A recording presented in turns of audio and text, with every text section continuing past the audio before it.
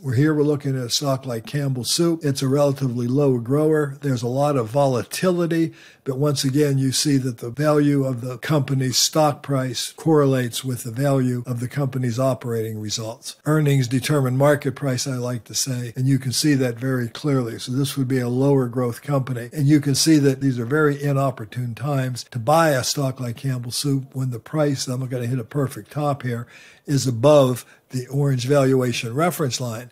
And you can see, even with the stock still overvalued today, by using the calculator functionality of fast graphs, you can do that by starting on price and going to any other point on the graph that you can click on. You'll see that, you know, this was a negative rate of return during this period of time because the stock was overvalued, but yet it was still profitable during this time, and they paid a nice dividend during this time. But Fast Graphs allows you to see that.